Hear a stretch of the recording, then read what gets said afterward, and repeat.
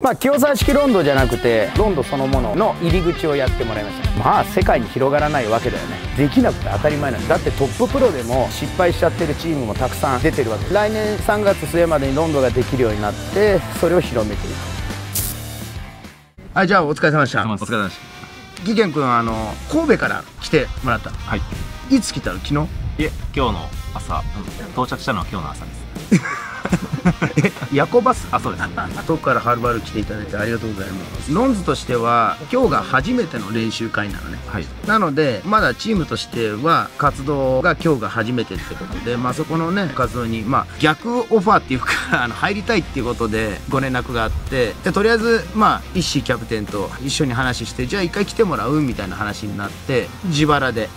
神戸から、まあ、来てもらったわけなんですけれどもはるばる神戸から来てもらいましたあの技研君平尾技研です。神戸から来ました。年齢は37歳です。高校はサガン鳥栖ユースで、でその後、まあ、オーストラリアのセミプロのチームに少し所属して、でその後はえーデルソン神戸のサテライトに、でそれがもう10年ぐらい前の話なんで、それ以降はサッカーもフットサルもあんまりやってないっていう状態です。まあ本当今日はありがとうございます、こちらこそではここから先は石井キャプテンに振ろうかな まああの冒頭でも言ったんですけどいろんな人の支援のもと今こういう活動をさせてもらっててちょっと厳しいことを言わせてもらうと最初にこうメールいただいたじゃないですか。その時に、まあ、僕は返したんですけどなんでこれをこの活動をやりたいのかっていうところが伝わってこなかったんですねでそれはまあまあ清沢さんともコミュニケーションを取って、まあ、今回こういう清沢式ロンドを全国に広めるチームこのロンズっていうのを立ち上げた中で我々がなんでこういう活動できてるかっていうとやっぱり個人協賛だったりとか企業協賛の方がこれは絶対に世の中に出すべきものだっていうところに賛同して元プロ選手とか元 F リーガーとか、まあ、それぞれかなりの、ね、キャリアを持ってて、まあ、そういう人たちであっても自分のものを全部捨ててでも新しいメソッドを日本サッカーに植え付けるっていうそれだけなんです。それ以外はいらないんです。そういう気持ち以外は。あのこれ YouTube 撮ってますけどこれサッカー系 YouTuber が一生懸命なんか企画でサッカーやって勝って負けてとかもうそんなんじゃないんです。なんでまずそことは一線を画すっていうことをちょっと頭に入れてほしい。ですだから自分が有名になりたいとかそういうのは全く関係ないしいらないんです。この活動に関して。世の中にテクニックプラス戦い方といって今まで日本サッカーの底辺になかったものを我々が作り上げるっていうだけなんですね。その気持ちだけで20年研究してた研究者がいてそれに賛同する我々選手たちがいてそれに賛同するお金を出していただいてる方がいるっていう流れなんです。そこにもう側はないわけです。なんでそこをまずご理解いただきたい。で正直この間の文面からしたらそういうオーディションを受けてとか言うんですけどもう僕たちはもうそんな関係ないんですよ。どこどこでやってたとかどこでプロでやってたとかそれこそ元日本代表だろうが関係ないんです。なんでかって言ったら新しいフットボールを我々が作って世の中に発信していくっていう覚悟がありますか？あの今回、はい。その参加させていただいてちょっと動画では拝見してたんですけど実際中身をもうわからない状態だったんで、はい。はい。こういう感じなかなのかっていうのが率直な感想でした、あのさ参加させていただいて、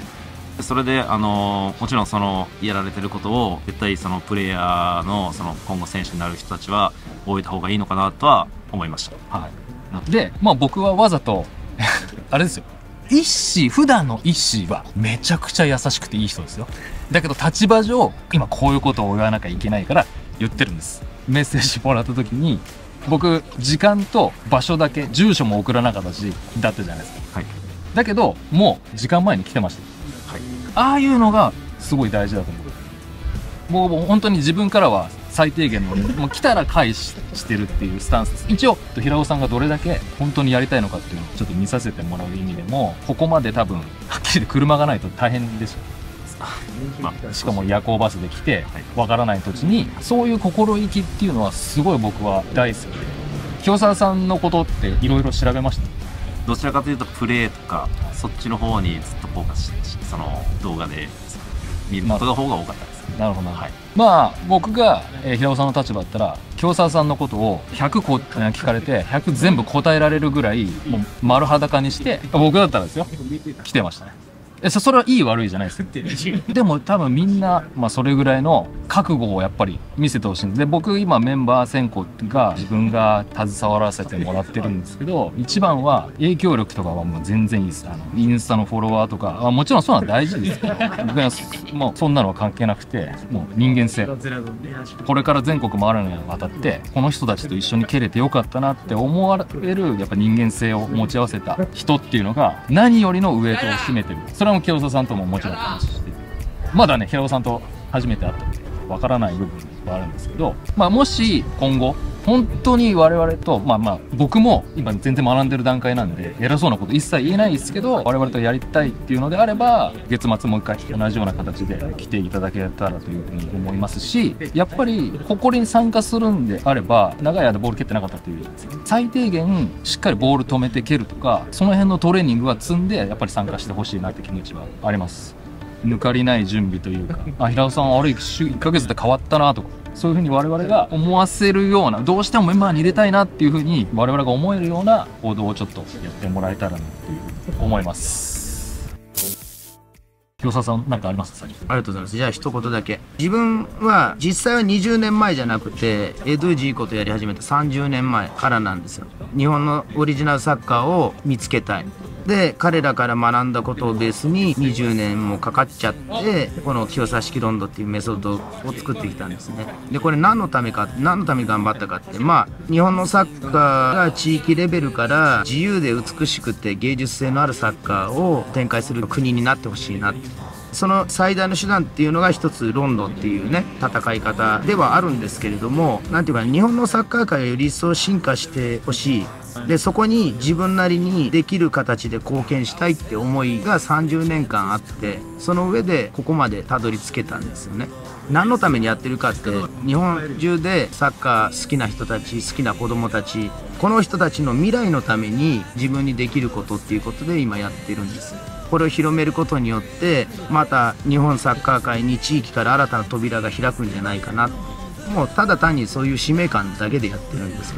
でそういう夢が30年かけてようやく扉が開くってとこまでまだ行ってないのかもしれないですけどドアノブに手がかけられたような状態なんですね。でそこにその思いに賛同してくれる人がこんなに集まってくれてで YouTube に出る人たちだけじゃなくてそのスタッフの方々だったりたくさんの方々が今私に賛同してくれて我々の周りに集まってきてくれてるんですね。仲間になって。お金もらってるんじゃなくてボランティアでやってくださる方もたくさんいて。でそれ何のためってみんな思いが一つなんですよ。日本サッカー界変えたい。より進化させたい。もっともっと楽しくサッカーができるようにそういう国になっていきたい。それだけなんです。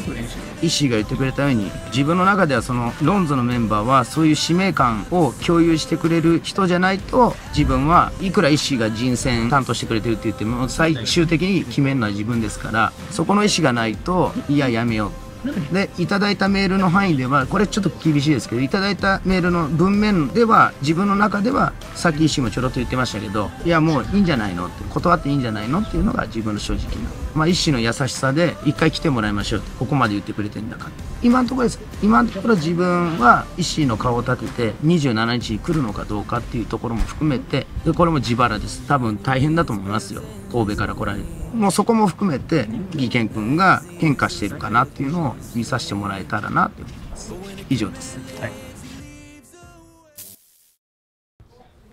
まあ、ここからははい。平尾さんの本音を聞きたいなと思って、はい。平尾さんの感じたこと、まあちょっと違うなと思ったならそれはそれでいいと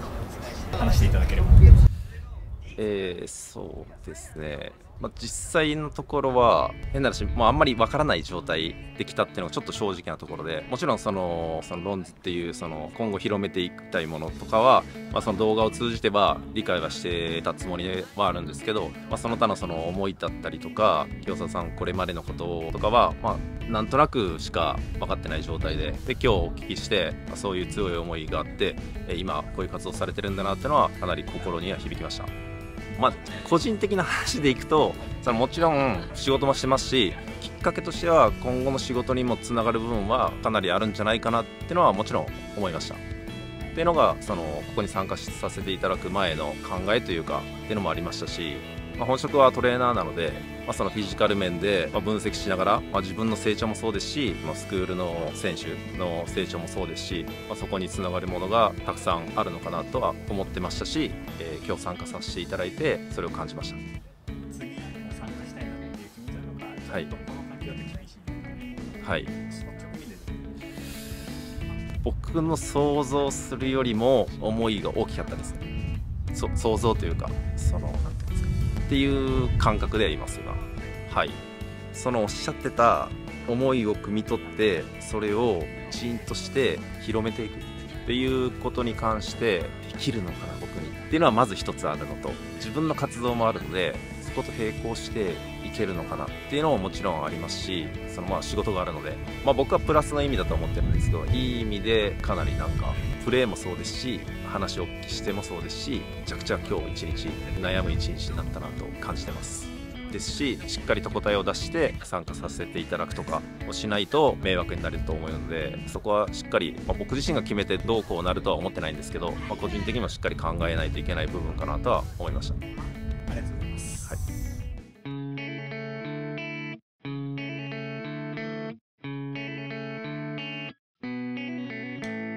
おはようございます。前回なんですけれどもロンズチャンネルの方で動画がアップされてて自分も改めて見てアホだなと自分は。あれ俺何のために清沢式ロンド作ったんだろう。ってっていうことでこの2回目からは清沢式ロンドを使ってがっつりと皆さんをロンドプレイヤーに育てていきたいなと思います